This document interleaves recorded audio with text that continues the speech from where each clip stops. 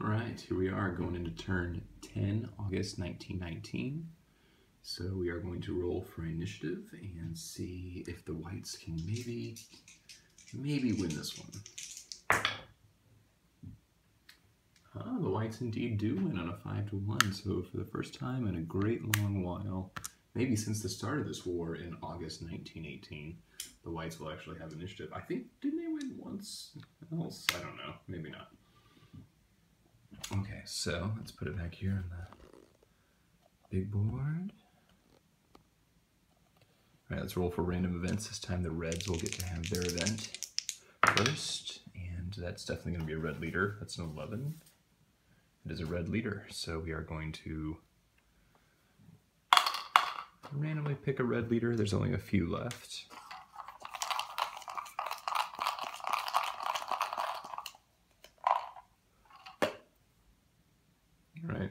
Gorov is coming in. He's back. He's smarting from being ousted from the field command, but he's begging for a front, and the front he will get is the south. Hey, okay. That's pretty decent. Okay, so now we have Igorov and Frunze in the south and southwest. It's a very potent area to have two good leaders in. Um, this is immediately going to pay dividends. I think we're going to have to see if we can bring the pain. This is going to have renewed urgency on the part of the whites here. Now they're going to really have some problems if they didn't already have a lot of problems. But we also get this uh, token for free. So when we decide what kind of chits we want to have, we get uh, the Southwest, the South, and the Field Staff chit for free. So that's pretty nice you can see like as you get more red leaders as uh, the red player you just start steamrolling you know like you just get more and more and more and and um, yeah you can see how that kind of adds to your advantage. It also kind of mimics the way historically the reds did. I mean they were slowly getting better and better and by 1920 had largely secured most of the territory um, that was in revolt. Anyway white event. Ooh, they roll an 11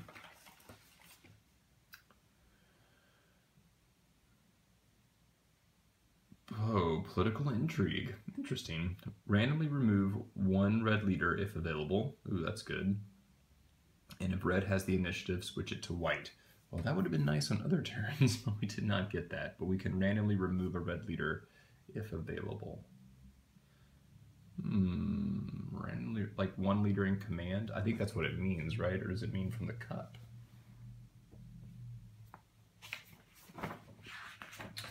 That is a great question. Now I have to look up leader rules. Oh, I was thinking I could just like blaze through this turn, and of course, immediately I get something that I haven't ever really dealt with before.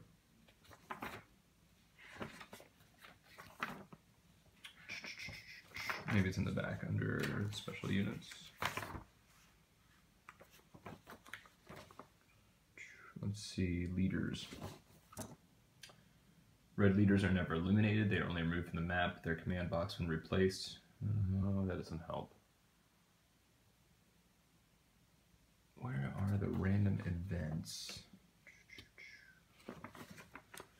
Alright, well this is a lot of... It's a lot of just not doing anything on the camera, and I hate to do that. So let me look one more place and make sure we don't see it, otherwise I'm just going to make a call and um, go to sequence of play and see if it says anything randomly.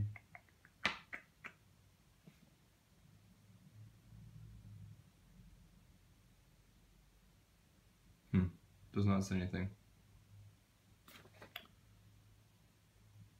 Alright, so I'm going to rule that because it's political intrigue, I'm going to rule that it's going to be something in the Red Army High Command because that actually makes a lot more sense in terms of um, what political intrigue means. So we have three leaders.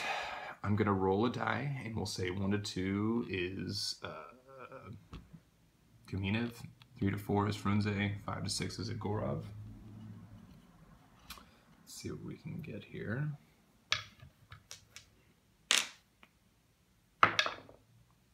Oh, Igorov. So Igorov comes in, but then is immediately dismissed because of his uh, maybe suspect past. He was dismissed from the high command field staff after all. Maybe he wasn't really capable of running the South.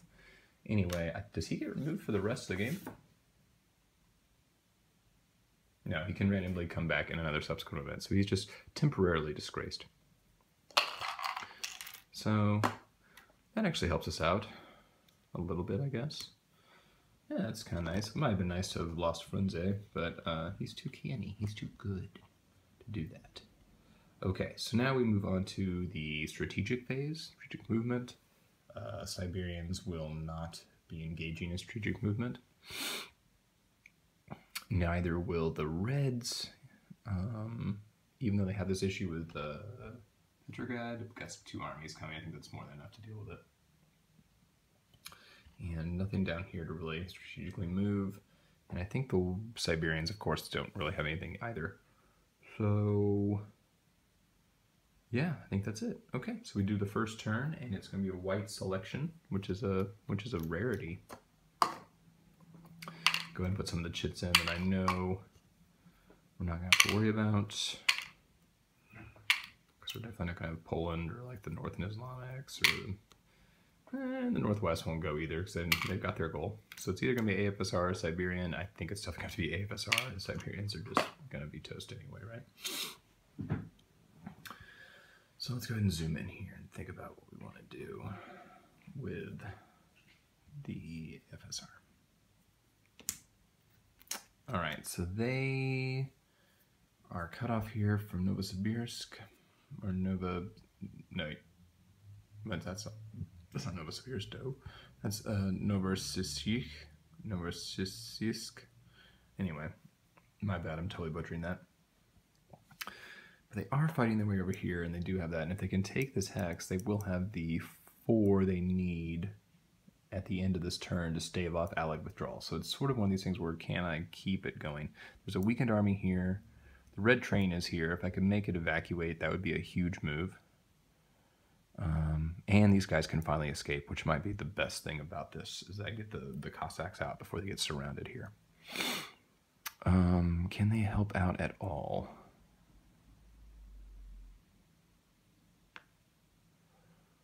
Uh, I mean, I could go up here, but then they're just going to get cut off again. So it's got to be like one, and then we have to leave a garrison there. Oh, that's Rostov. We kind of need to hold Rostov. Otherwise, we lose our ability to um, do what we need to do.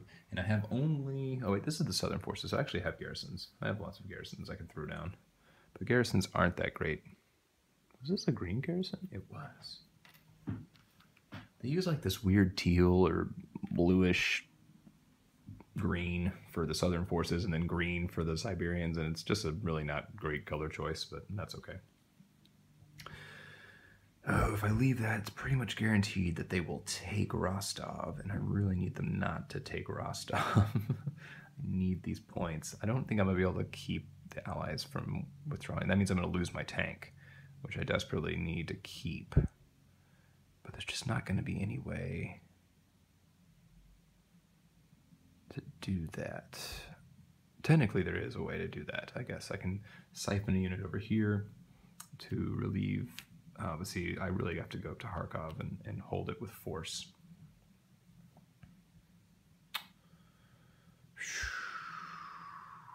Yeah, this is. I'm not gonna be able to really keep the allies from running away. And it may be for mood anyway, because Petrograd may just fall. Oh, but you really want to, you really think you can do it sometimes. All right, let's see. This guy's just, what, four, and he's got the red train. Oh, making a huge mess here. Okay. So I would not have to move these guys up to get two to one and make it one to one odds, and then I would probably not suffer a loss because I'd be able to get the maximum I think I can get on this guy. That would be big. If I kill this guy, he's probably just going to come back. Um, yeah, and going up here, I don't have supply because this is all cut off. And if I come up here, I just won't have, I mean, I would, but it, no, actually I wouldn't. So I can't even advance into that hex. Hmm. So yeah, maybe it's just time to keep beating your retreat. And then hopefully find some way to outmaneuver this army because it's slow slow and unwieldy in some ways. I think that's just what we're going to have to do. Is there a way to get up here? Two, three. Nope. Won't be able to get there in force. That is really too bad. And I can't hold Rostov. Um, who boy.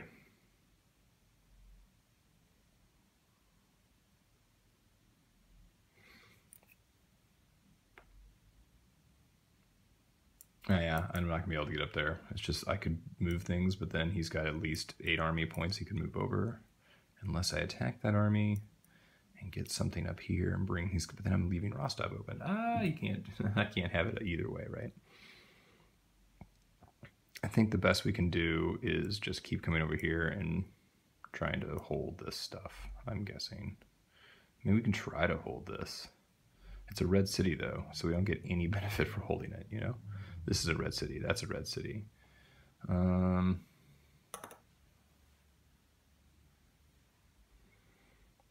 all right, let me take a break and let me think about what I'm going to do because I'm tired of mulling on camera.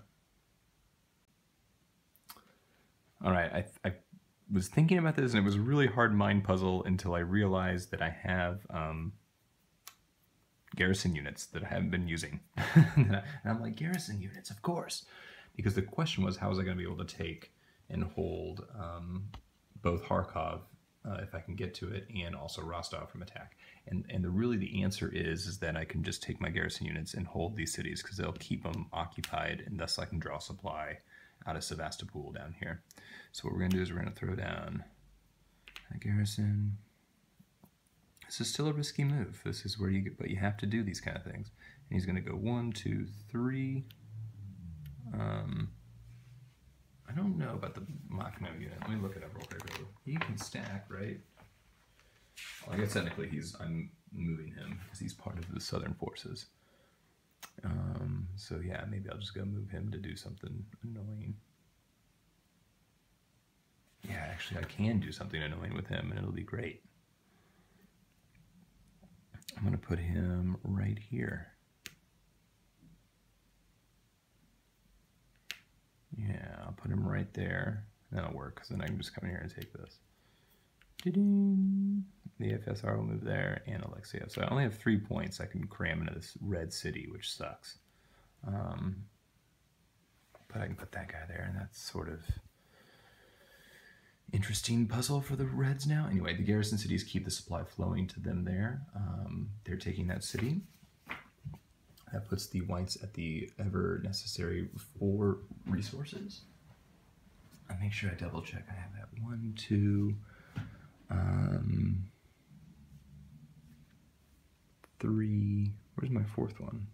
Oh, four. Yeah, forgot. One, two, three, and I have Petrograd. It's four. Okay, good. So over here, though, I have to hold Rostov, and it can't fall this turn. And but I need to like you know, at least weaken these armies. Because here's my thought. The Reds would love to have major withdrawal go down next turn because it really greatly hampers the Whites totally, and it will pretty much kill them. They're going to have to take at least two armies over here to get a 2 to 1, because right now it would just be 4 to 3, so that wouldn't even be, um, it would be 1 to 1 odds, it wouldn't be 2 to 1, but if they brought the other one over, it'd be 2 to 1. I would like to attack this army, I can't. Therefore, I know these three armies are going to probably come over here and try to attack and take Rostov, right? So I can't leave this weakened uh, stack here. So what I'm going to do is we're effectively going to take these guys out. Oops. Effectively, we're going to actually take these guys out. They will come up here.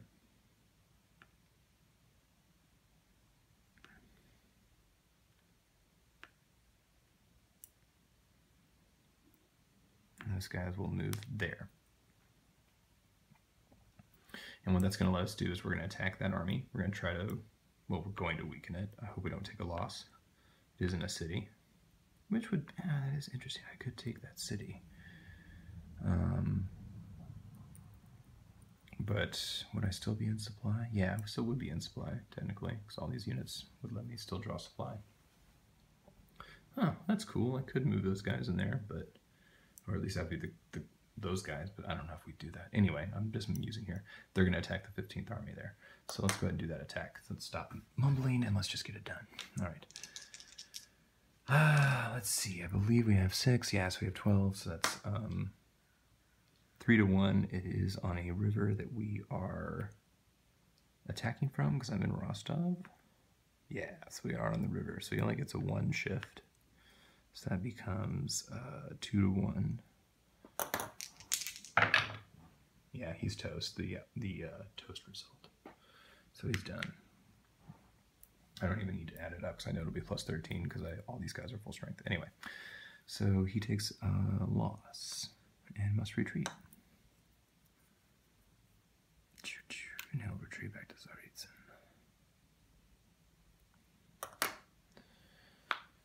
Okay, so could advance and take that city, and they would still be in supply, and they would have a city defense that actually means something, which is almost invaluable for them. So that's actually probably the best idea.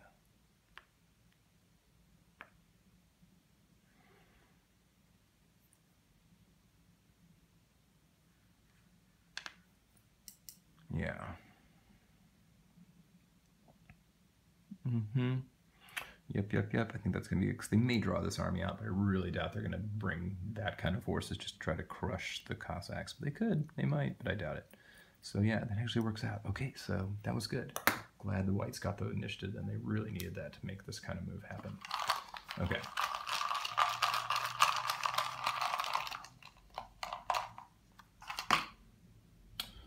Northwest is not going to do anything because it's holding out for the inevitable, although it could it could sortie out, but it's not going to because then it wouldn't get the advantage here. I say sortie, that's like a plain turn. It could march out and go attack that army there. But why leave the coast where we get the nice Baltic unit to help us out? Um, if I had the AIF active uh, offense, that would be amazing. That's just that's not good enough luck. So Northwest is going to chill. Oh, the von der Goltz unit, I guess, will move. He'll go one, two, three. Just in case he eventually gets released, he can come help out. Okay.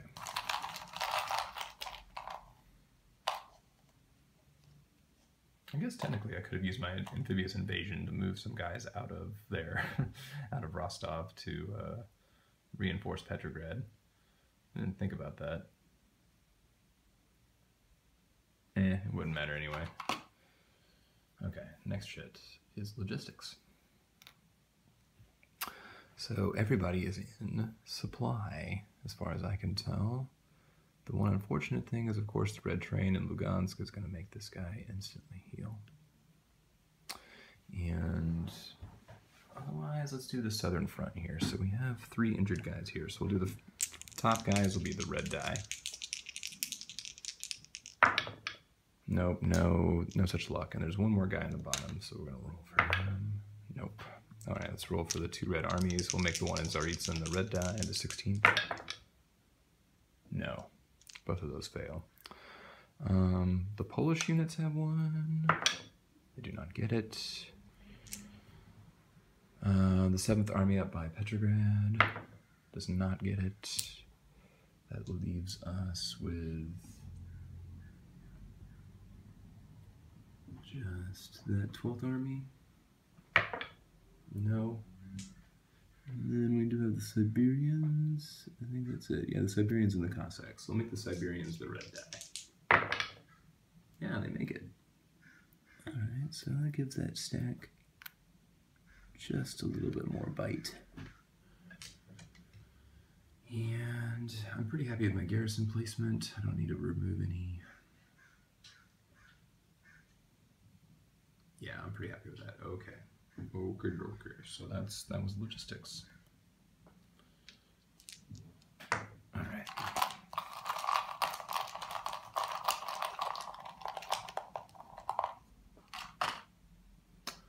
Uh, field staff chit. Um, ooh, the north front. That's exactly what we're going to do. We're going to activate the north front and try to retake Petrograd. All right, negative Q.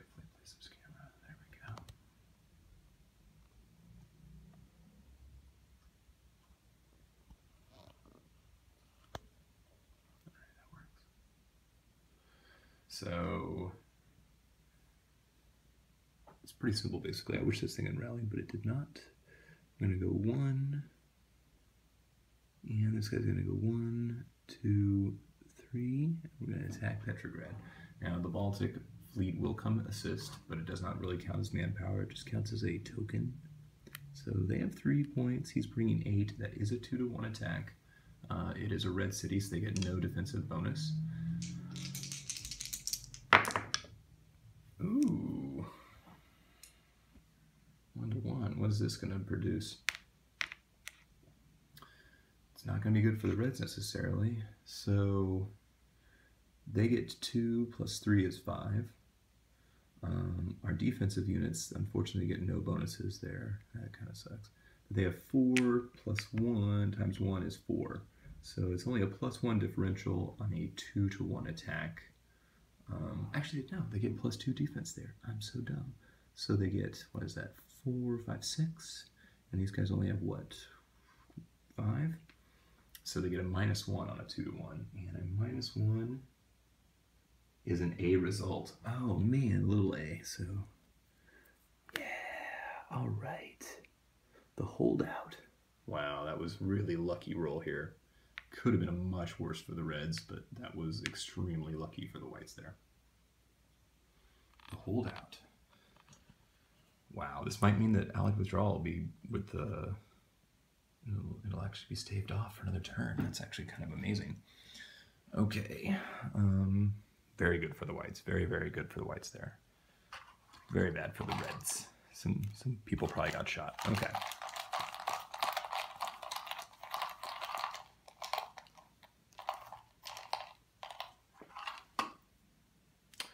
Polish units, again, are very happy with what's going on.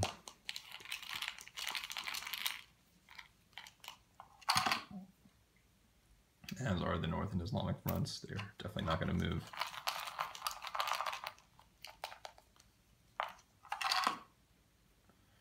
Siberian. This is going to be a largely a runaway operation. So they could have maybe been caught, but once again, just narrowly escaping the clutches of the Latvian rifles. So we will move. The question is, how what kind of defense? There's not very good defense. There's no defensive terrain here. So we go one, two, three, yeah.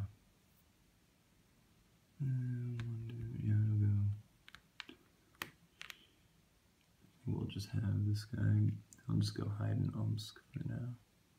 Actually, he'll hide just outside of Omsk right there. These guys will move there.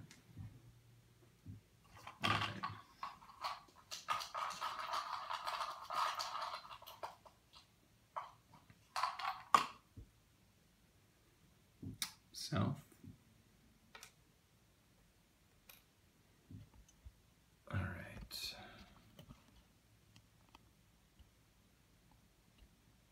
Oops.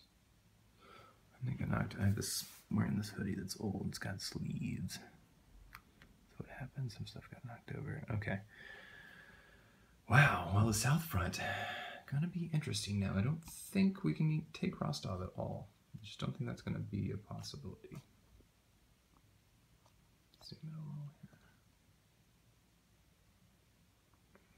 Yeah, I don't see how that's gonna get um, accomplished with what we have. Unfortunately, that was just enough for them to hold out because the thing is getting those units there was big. Luckily I just thought about the garrisons there. That was that was actually super big and the, the partisans are not helping us at all here. So I can I can still get an attack on here because I can just go like I can go actually this guy I'll have to go one, two, three, and this guy can just go one, two, because this, this doesn't create a zone of control. And then I can get that's what I have to do there, because I have to get that attack. Although it's going to open Lugansk up, but I'm not so worried about that. It is a red city, so I'm, I'm less worried. Spreading these guys out is, is good. That's what we're going to do. We're going to go one, two, three, two. That gives us the best chance there. Here, we've just got a whole nother pickle. I mean, I'd rather, I just need to start trading these forces because we're about to get replacements. It's about to be a strategic turn anyway. So let's, let's try to get a surround on this guy. I think that's a good idea.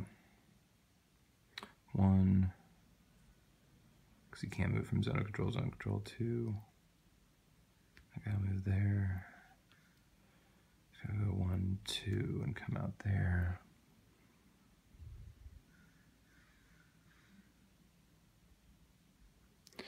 And that's it, because I can't get this other guy out. Uh, that flotilla is not helping us on the river necessarily here. Oh, and I have this unit. I forget, he was probably, he probably didn't get moved Lester, and that was a mistake. That was a bad mistake. One, two, three. Yeah, he'll come down there. Um, yeah, I don't think the guy in Tsaritsyn, he can actually get out anywhere. So I think we'll just stick with that attack. Uh, will be a one-to-one -one attack. Hopefully we can get something going there and get a good roll, hopefully. Because um, I need some need some breakthroughs. So let's go ahead and do this attack. It's the far more important attack. Because um, it actually will determine if Allied withdrawal occurs or not. So we do have three points there. They have eight. That is a two to one attack. Uh, I do not get any shifts because it is a red city. It's two to one. Gonna have to hope for some good, good die rolls here. Yeah, Could have been worse. Three and a two, that might be just enough to hold out. So they get six, and they have a seven, eight defense. They have uh, two and eight, so it cancels out. It's a two to one with a zero differential. And that is an AD result. Just enough to hold out. So it's a little a, little d. So I think we'll take Let's take this guy out. And who's to get hurt here? I think we'll make this guy hurt. Although he has an awful defensive negative. Uh, who has the worst one? Mm, we'll take that because I'd rather have the worst defense. There we go. Okay, so wow, holding out big time there. That was a big, big holdout. This means Allied withdrawal will not occur. That was an incredible turn of events for the Whites. Very, very good. Actually gives them some staying power, not a lot. Uh, as you can see, it's still pretty much inevitably going to turn against them, but maybe they can hold out a little longer. This attack is going to be much more dicey. It is also a 4-8-12 against a 6, so it's 2 to 1. Uh, there is a city they get a shift for. They're on the river, so it's just one shift. It becomes a one-to-one -one attack.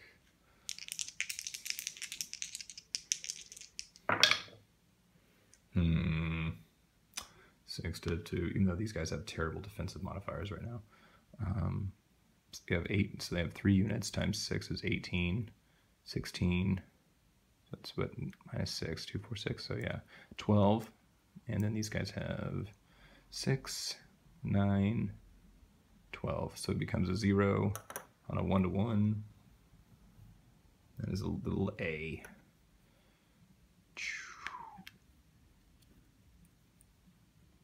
That was right, right? So that was uh, 3, 6, 7, 8, 9, 10, 11, 12, 6, 12, 18. Yep. Uh, minus six. Yep. So that was a zero. Damn. See, that was that was really good for the whites. They're actually getting really good rolls when they need to. So very big, very big. All right, that was actually a total, total bumbling.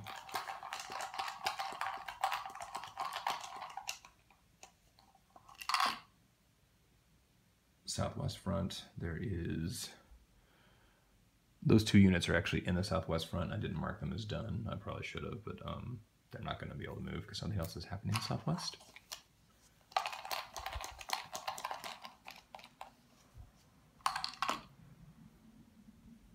The east will just continue their dogged pursuit of the Siberians, and I think essentially we're just going to moving these guys up. We will leave a garrison there. And also leave a garrison there just to be super safe. Although technically I really only need this line open, don't I? Yeah, I don't even need another garrison, that's fine. Although if they get partisans, it's so annoying. I won't do that. Okay. One, two, three, that guy moves there. One, two, three, and one, two, three. So that's that is the east. Yeah, they are coming. And that leaves only the AIF, who are going to do nothing because they are largely ineffectual and have. Technically, I guess these guys over here could slip over here and start uh, putting the hurt on, on Vologda. But technically, they can't because this unit was cutting supply in that hex right there. So if they leave there, they won't be able. Oh, they get do get supply from there, I guess. Hmm, that's interesting. There's really no way to take advantage of that unless... Nah, there's just too many lines. They have too many ways to get supply back to Moscow. Hmm. yeah, I think we'll just hold off there. I'm probably like totally playing AIF wrong, and, and if anybody plays Reds and knows what's going on and, and can tell me, school me on that, that'd be great, because I, I think I'm pretty much messing that up. Okay, so that's the end of that turn. Incredibly, the whites have held on. Not going to lose um, allied support yet. It's almost a shame they lost it so early. That's super key, because that means we're going to get to keep our tank. So nice, incredible daring moves over here have forced the red hand, and it's quite open here. So if the whites win initiative, there could be some serious reckoning and pain here. And, and the protracted struggles of the Siberians, even though it's been pretty much a one-sided contest, it's it's beginning to hurt here. I've, I've devoted so many resources toward this, and it really needs to end itself quickly. And also, Petrograd is stubbornly held on, and this is going to become increasingly worrisome for me. So, whew, I thought the Reds were secure, but a few turn of events have really uh, demonstrated the fragility of some of their positions. Oh yeah, and the Whites are still kicking it. Okay, so we're going to move into strategic turn D. They will get this uh, Konarmia. It's a very powerful unit. It's one of the most powerful in the game. Um, and then we're going to head on to another turn. So when we come back, strategic turn D, and then operational turn 11, September 1919.